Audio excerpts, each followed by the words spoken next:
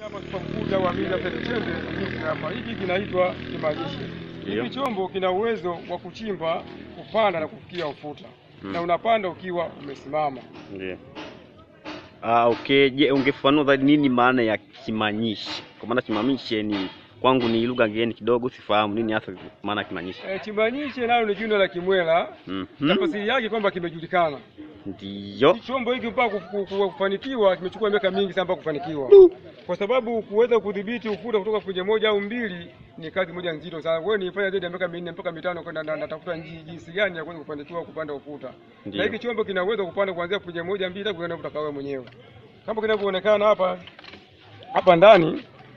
Hapa ndani pana shimo lile kubwa, lile shimo unavyoona pale. Ndio, ndio. Kwa hiyo unapokuwa una, una, una, unafunga hivi hapa, Mhm. shimo linapungua. Ndio, ndio, ndio. Unaona? Unapoenda kufunga hivi hapa, shimo inapungua.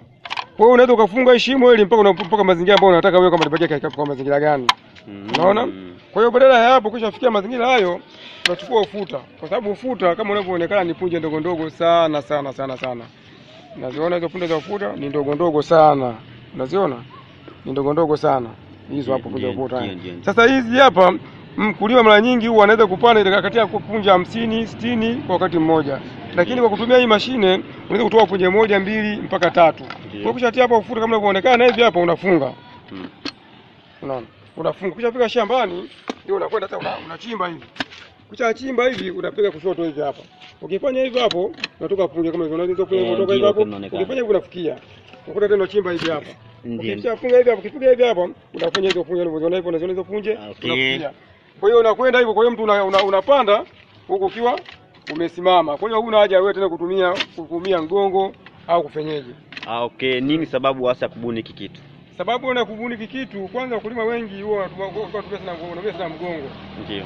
Kwa sababu wanapanda wanabidi wainame hivi. Sasa kupanda Ah. ukiwa inama kwa mashamba makubwa na mashamba makubwa sana inakuwa ni ganzi, watu wanaumia mgongo. Pili, wanaweza kutia punje, unapochukua punje za ufuta, ukichota kidogo sana hivi kama inaonekana hizi punje ndogo kama hizi hapa. Ukichota hivi hapa, Ndio. Ukichota hivi ukipanda hivi hapa, ukizitupa hivi hapa, ni zaidi ya 30.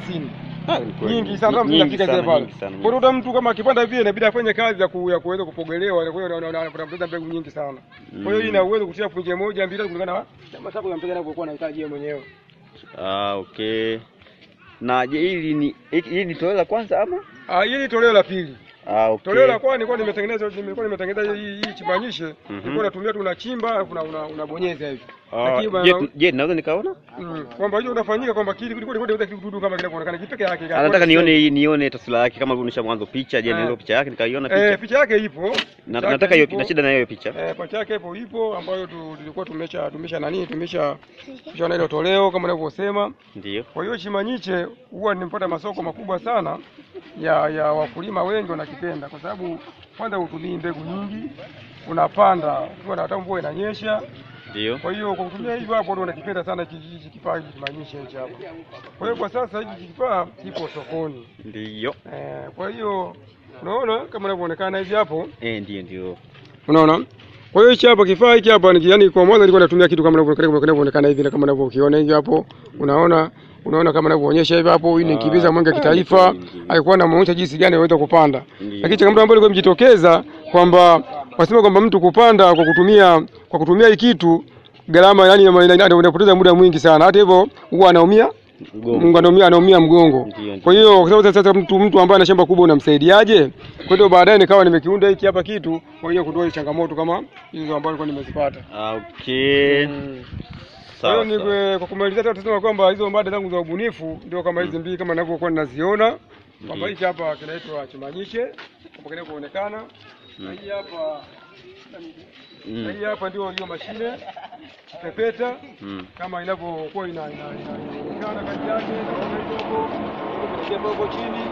Kwa hiyo huo ndio unawakilisha ubunifu wangu wa ambao mimi nimeubuni Hamid Hassan Jembe na kampuni inaitwa Super Mkuti kutoka Tanzania Ruangwa Lindi kwa Mheshimiwa Majaliwa. Ah, okay. Nashukuru kwa ushirikiano wako.